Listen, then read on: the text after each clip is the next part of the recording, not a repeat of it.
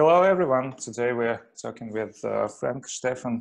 He is founder of a uh, couple interesting st startups, and he also has um, mm, experience as a trainer speaker. So uh, today we are going to uh, to know a couple of his secrets how to reach some success with your startups, especially fintech startups. So hello, Frank. Yeah, hello. Thanks a lot for having uh, me. Will you will you will you share with us uh, some of your history? How how have you came uh, to the point where you are currently? Yeah, yeah, sure. Happy to do that. I'm not sure, however, if there are so many secrets though, because if there were, be, I would also like to know them. I think it's more of a, a, personal story and, and kind of that's, that's probably very individual, like like as always. Yeah. Um, yeah, so, so where would I start? So um, the product that, that, we're currently running, Lendary, maybe a bit of history uh, to that. Um, my, my co-founder and myself, um, we met each other actually in a, in a different profession. Um, it was in strategy consulting, where we were working until um, late 2015. and it was more or less the, let's say, the early days of digitization and data analytics, and we were always interested in that. And uh, more or less as a side project back then, we thought why not apply um, this, these techniques, um, also some early AI techniques to, to financial data. One of the main reasons was because financial data was widely available and also, at least in some cases, uh, we didn't have to pay a lot of money for that. So we, we started that on the side and then we relatively quickly, we developed uh, a couple of trading algorithms um, just, just for ourselves in the beginning. So let's say a small prop trading uh, company that, that grew out of that. Um, and after we have then quit our jobs in order to focus fully on that, we ask ourselves what to do with it. And the first, let's say, classical um, idea that came to my mind was why not commercialize that in a classical way? So um, setting up a fund. So we went through all the regulatory hassle. We got a, a BaFin license in order to, to run an um, alternative investment fund. We did that in the beginning with a focus on equities and ETFs and um, based on algorithmic strategies. Um, and on the side, again, so, so, let's say a new side project from our side project, um, we also started trading crypto. And particularly in 2016, beginning 2017, when the market, when the volume was growing, we realized, okay, there, there might be some strategies that are actually somewhat scalable at least. I'm still skeptical that the market is super scalable yet, but, but um, at least it worked for us um, somehow. And um, while doing that, we experienced um, certain, say, financial innovations that happened that happened in the crypto market, which actually became um, what Lendary is now. And um, to go a bit into, into that, um, is it is it fine if I directly switch then to, to explaining what, what Lendary is and, and how it came out of that? Okay, of course, so um, the, the interesting feature that we found is that in order to trade on in a margin account and to trade on leverage, um, in many crypto accounts, you, uh, you have a peer-to-peer system that finances these margin accounts. So leverage trading and, and also short selling is nothing new. And you have it in the classical markets as well. However, in, in most of the traditional markets, you mostly have a middleman. So either a broker or a bank who's providing the capital that you use for leverage trading and where you pay interest rates to this middleman. And usually the interest rates are actually pretty, pretty, pretty low and, and almost no one realizes the whole economics behind it. But for, but for broker and banks, it's, it's an interesting business. And in the crypto space, it's a bit different. And historically, uh, since they didn't have a lot of capital in the beginning, were just some tech startups who built these crypto exchanges and, and wanted to allow leverage trading, they thought, why not make a peer-to-peer market so that users could lend themselves money in order to trade on, left, on margin, trade, trade leverage. Um, and what we found out is that these, these rates that we were using ourselves were actually quite high and we were thinking, why not systematically go on the other side of the trade? So why not being the capital provider instead of the trader who has to pay the rates? Um, and so we looked at it a bit more closely. We looked at what exchanges do that and how does it work. And we really quickly found that this is, it is an interesting opportunity. However, you, you need to do it systematically. So you would need a software that automates and optimizes this lending process on a crypto exchange. And so we built this software first for ourselves. Again, like everything that we did, we first built it for ourselves and then, then we commercialized it for others. Um, and in the meantime, all of our investors in the traditional fund, of course, they knew what we were doing and we were showing them also what, we were discovering on the side and they said wait a second if that's if that's actually working then this is a better product than what you've offered us in the fund. So we completely cannibalized our fund and and, and then we started lendary.net um, and and why why is it in why is it in so why why did we follow the path? Because we realized in the end for the user it's an alternative fixed income product so to say. It's an it's an alternative stream of passive income that he or she can generate and and it has two interesting features basically the first is the return side of it um, users uh, so traders who are on the exchanges who are on the on the other side of the trade um, they are generally willing to pay relatively high rates. Why? Because crypto trading is still highly speculative. So if a trader thinks, I don't know, Bitcoin will go up 3% a day, then he or she wouldn't mind paying five basis points on for that day for the, the dollars that, that he lent to, to do the trade. Um, and the second reason is uh, the, the risk side is also pretty interesting because different from classical peer-to-peer -peer lending platforms, and a user who gets the capital cannot run away with it. So the, the user cannot pull it from the platform and cannot buy a car or not pay it back. So and the, it, instead, can, he or she can only trade on the platform. And since the market is open 24/7, the platform can can fully control um, the capital in use. So what could happen is that a position runs against the trader, and and but since the um, capital is always um, fully su su surveilled by the by the platform, and there's an automatic liquidation mechanism that would jump in and would liquidate a position that is negative um, in order to make sure that the capital plus interest rate is paid back. So it's an, so it's from both sides, it's from risk and return perspective. Um, it's an interesting situation and, and that's why we thought why not why not make an investable product out of it um, and, and that's that's how we built Blender. Yeah. What is your current business model? I mean, how, how do you make money? Exactly, exactly. That's a good question. How do we make money? And so currently we are operate, operating in what you would call a managed account solution. So um, currently our users have their own account on a, on a crypto exchange and this is fully their own private account. They have their passwords. We don't have any access to that. Um, however, um, once they set up their account, once they put um, US dollar on the platform, so we only operate in US dollar, um, then they can create an API key for this account um, that allows us to, to access only this so-called margin funding. So the API key doesn't allow any trading or any withdrawals or deposits or anything, just a, just a margin funding functionality. Um, and with this API key, they then go to our platform, plug that in, have their personal profile there, um, and we charge. We just charge a, um, um a, usage fee, a software usage fee. So it's basically a software as a service model, and that is based on the performance that the user makes with the software. So we are, in that case, we are a pure yeah, software provider in, in, in, in that equation. At least that's right now. So we have some we have some further developments in the pipeline, um, but but but that's the current that's the current working of Lendary. Exactly. Mm -hmm. uh, you said that your your project has cannibalized uh, your fund, but uh, how does it happen? Do you still, I mean, operate like um, um, Blender, or it, it is is it just uh, uh, only P2P only um, platform, and you as a your fund as a user op operates there? Yeah, and so so the fund is not involved at all in in this equation. So the fund is current, currently empty. We're not using it. We have some ideas how we might use it again, but it's not it's it's not it's not our core business anymore. So Lendary, so this the software is, is the is the main is the main business. Um, and in, th in this equation, we don't act as a financial institution in any way. So we, we never have the user's money. Um, so we are not, we are not actively engaging in that as a lender. We're just providing software to people who want to lend their capital to, to crypto traders, traders on these exchanges and want to automate that. They wouldn't also need to use us. You can do that. You can do that manually. So you could, in principle, you could sit uh, in front of the computer screen 24 seven and every time capital is coming back from, from the trader, you could say, okay, I want to relend it again. We're doing some optimization, so it might also make sense from that perspective to use the software, but the main value add is the automation 24 seven, definitely. Mm -hmm. um, and, and, and, maybe there's one, one, one important aspect as well.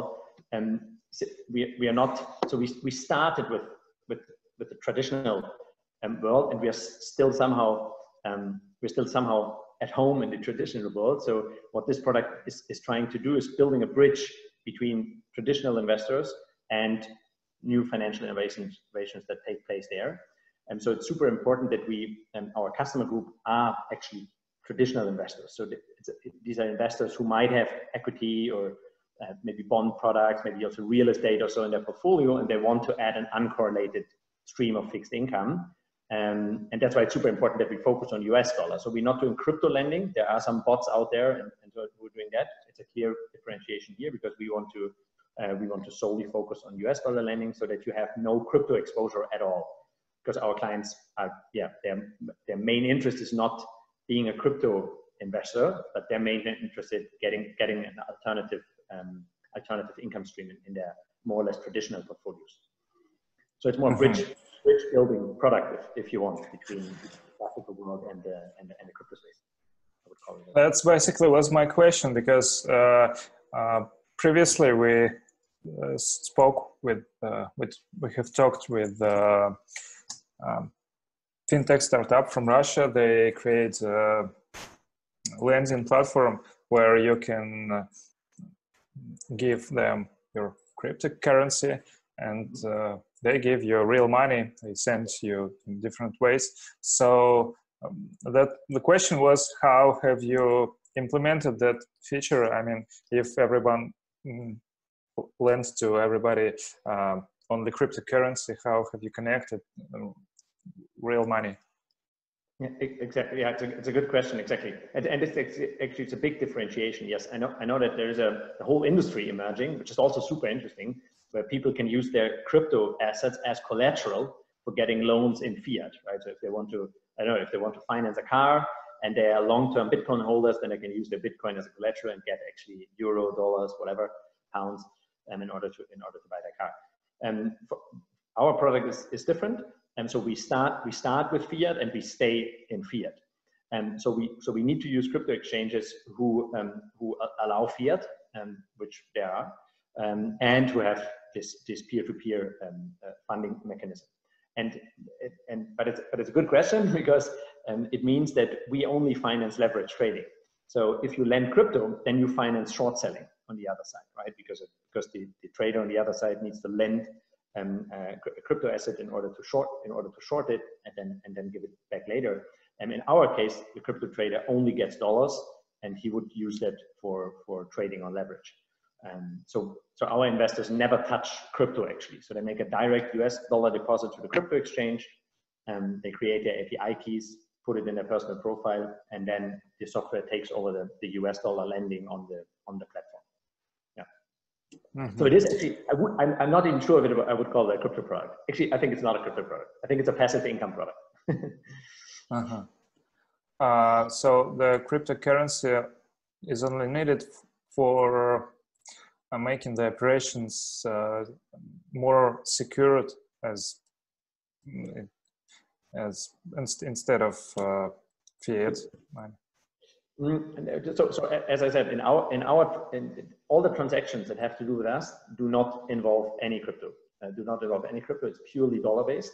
And the trader, however, on the exchange who uses the dollar is using it for trading crypto because it's on a crypto exchange, right? The trader can trade Bitcoin, Ether, whatever, um, and he and he he trades um, U.S. dollar crypto pairs. Um, and in, in order to do that in a leveraged way, um, he uses the dollar um, uh, from our users, but also from many other users. It's actually it's actually pretty big, mar big market. So, for example, on, on Bitfinex um, alone, it's roughly half a billion um, dollars lending volume per day that, that that's going through. So it's it's it's quite sizable already, and that was also interesting for us because we we saw that um, maybe also different to many of the, the short-term or technical trading strategies that you have in crypto, which might work fine until a, a certain volume of assets is reached um, or of turnover is reached, and this is actually quite scalable. So I would say different than, for example, short-term um, exchange arbitrage strategies or, or something like that, which where you where you might have you might run into into scalability problems uh, at some point. Yeah. Mm -hmm. um, do you feel uh, how last changes of the situation on the planet how how they um, changed your business? Is it, is it grown or or no? Yeah, that's an interesting. Yeah, we, we actually we ask ourselves that because um, uh, so, so my, my hope is actually that that mid to long term it, it will help us because we can show that that we have an investment product that didn't die in the in the in the market crash and that didn't lose money for, for our investors. And we know from many investors who told us that hey, it's great that I had you in, in my portfolio and that what that was actually the the test that it, that it is truly uncorrelated. Um, and of course we of course now we have this track record and we can we can put that out. Um, on the on the other hand, yes, there have been larger uh, investors that we've been talking to before, who of course postponed um, investment decisions now and said, okay, we have it, it was such a bloodbath in in my in, in, the rest of my portfolio or in my existing portfolio. I wouldn't want to start anything new before the, the last quarter of the year or something like that. So we so we so we had, I think we had both. Um, but I would say the investors that have already been on board, they they were they were happy.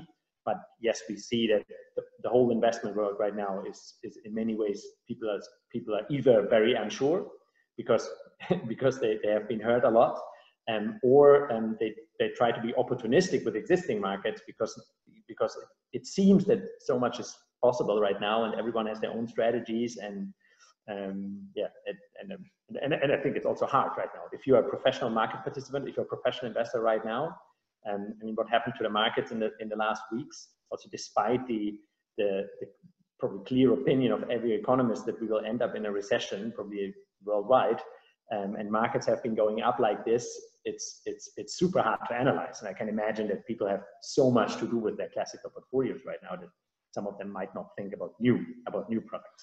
Um, yeah, but long term, I, I, hope it will. I, I, hope it will help us. Mm-hmm. Um, what do you think about your future goals of, of the project? I mean, do you plan to sell it to some strategic partner, maybe some bank or uh, and, and the, the other question is do you feel that banks somehow may, may step on the on the on that area and to create something like your project to to compete with with your and and mm-hmm. similar startups.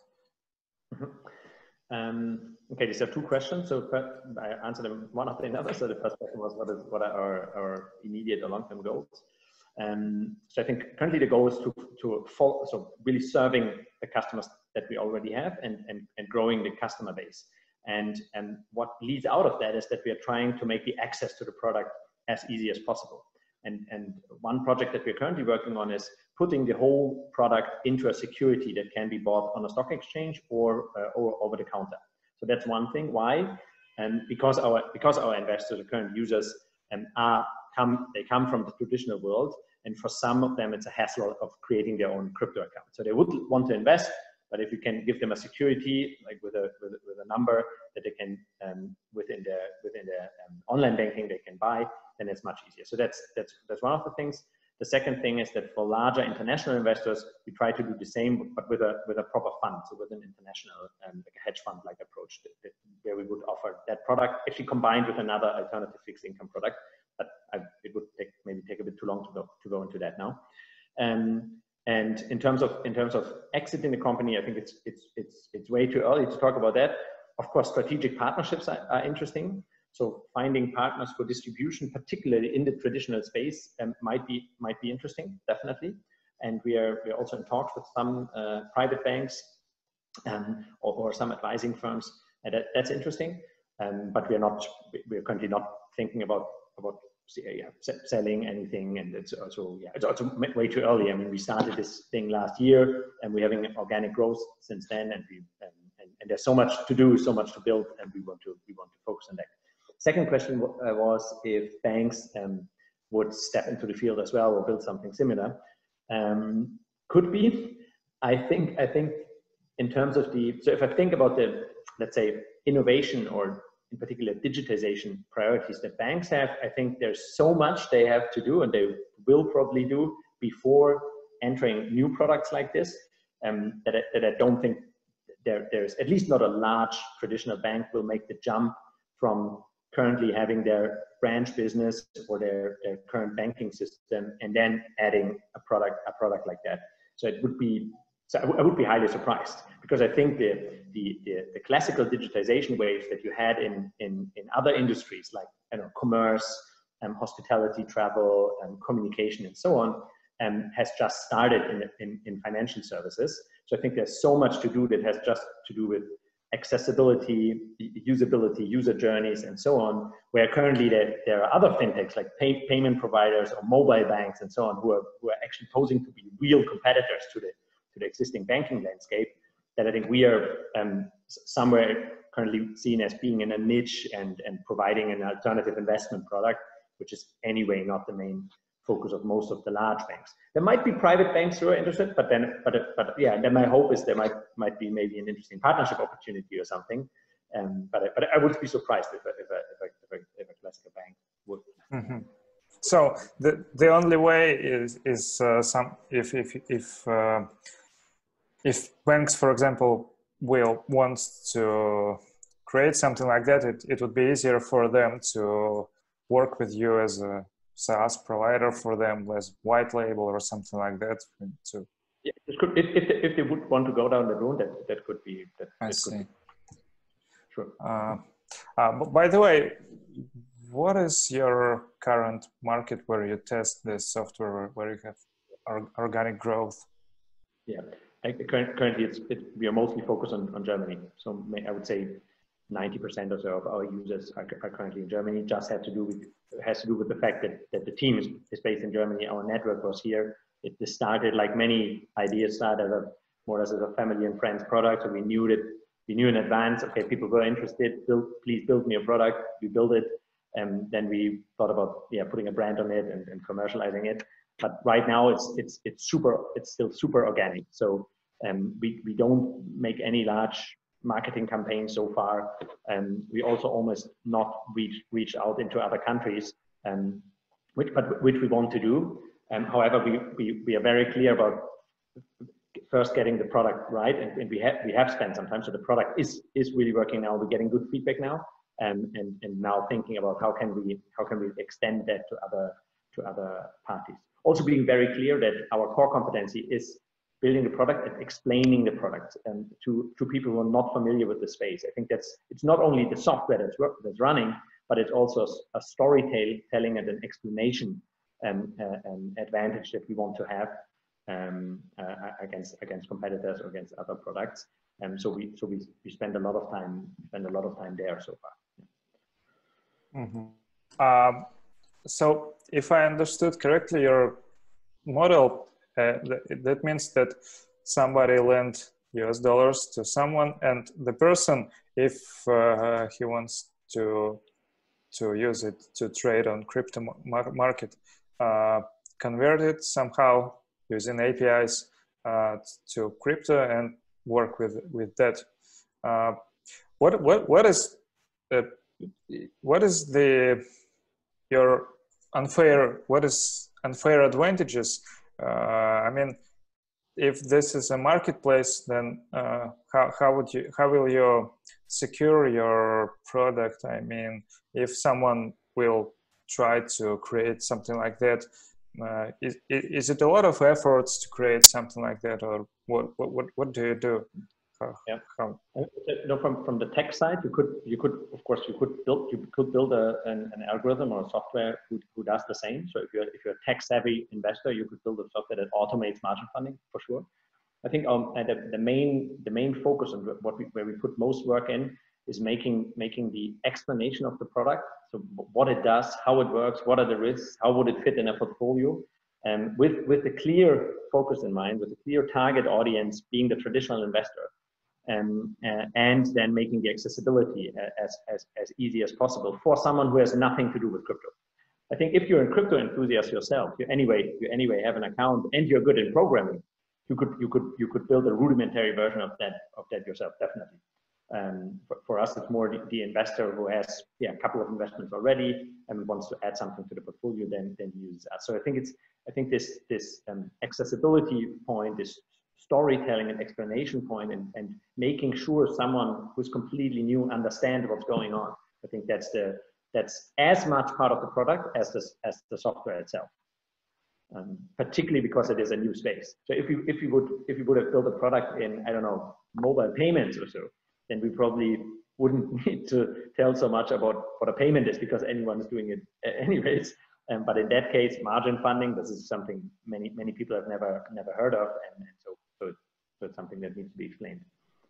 Um, yeah, for example, for me this is something new too. So uh, it, as you can see, I, I I'm even barely understand how does how, how all that work but but but but i i have spent 15 years in it and, and uh, last three years in fintech so but still i have questions if, if you ever thought about leverage trading then you then you have used it or if you ever did it you, then then you have used it and then there was then there was a middleman there was probably a broker or i don't know where you where you do your equities trading or, or whatever and there was a broker who was charging you interest rates for that. So you were borrowing, you were short-term borrowing, I don't know, dollars or, or, or whatever, and from, from, from the middleman and paying interest rates. And in that case, this has just been converted to a peer-to-peer market, and so that yeah, our users kind of can be can take part of a brokerage or bank business. That's the interesting. That's the interesting aspect of it. Mm-hmm.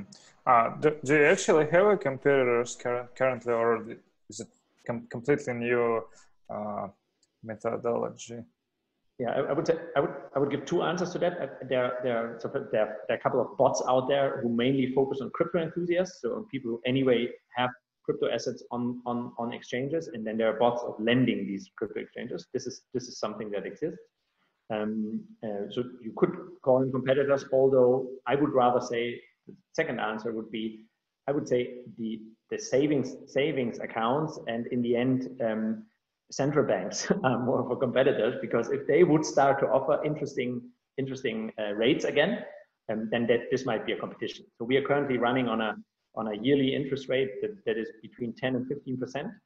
Um, or at least it has been like that in, in, the, in the last couple of years with a with a daily liquidity and so I would say that the, the, from, from, the, from the type of product, it's it's more or less it's very similar to a savings account that actually offers interest rates. So should should this um, come about again in the classical banking world, which I think is very very far away, um, then this would be a competition.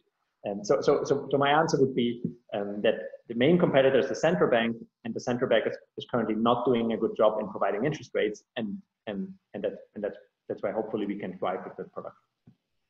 Yeah, I guess I guess last 10 years, maybe more, the situation was mm, closer to current point and I, I don't think that it will change in future and in in short or middle term at least. So i believe in great perspective of your project. Um,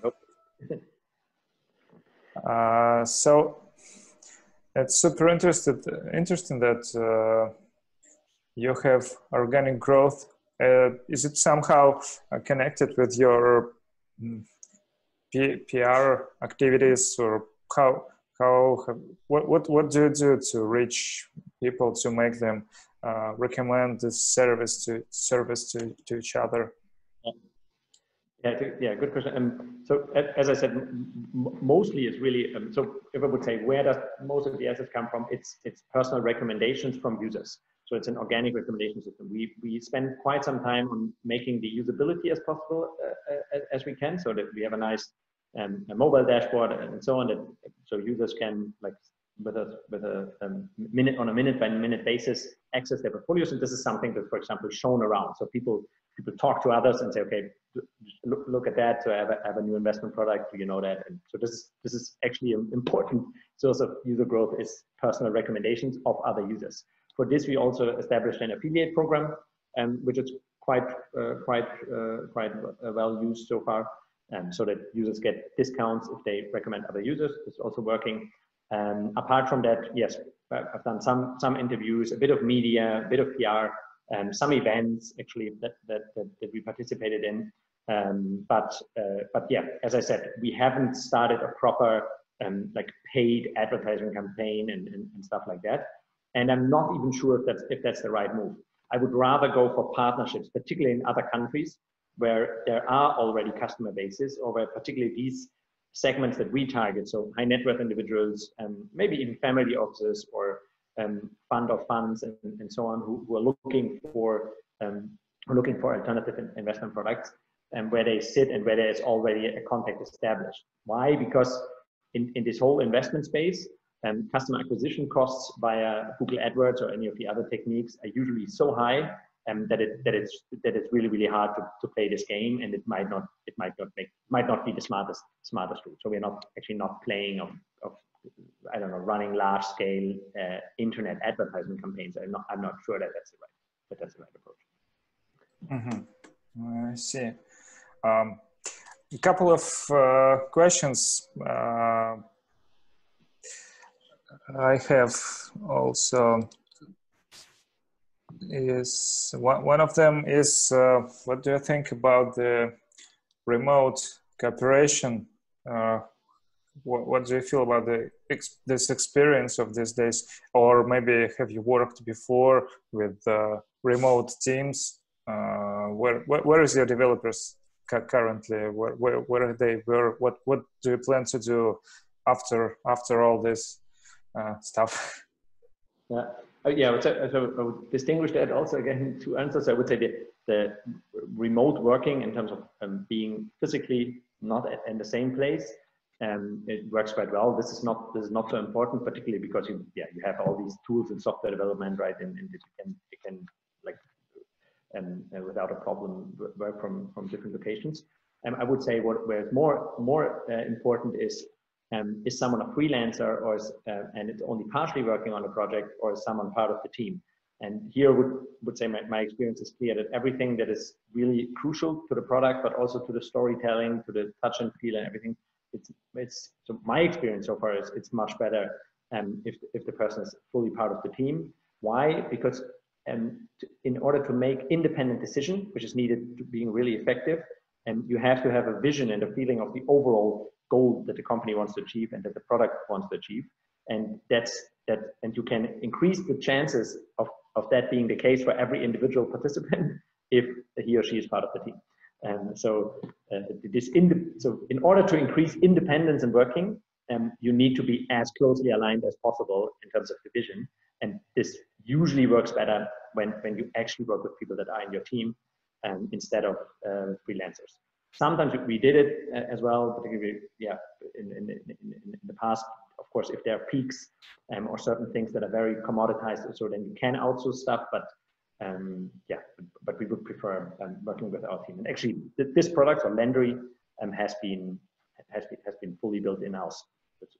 Ah, mm -hmm. Yeah, I, I understand. I I agree with that. That it's easier to work with uh, people who know all the OKRs and all, all that, and, and on, on, only some something not so important, something not so core centralized could be outsourced to freelance uh, market, for example.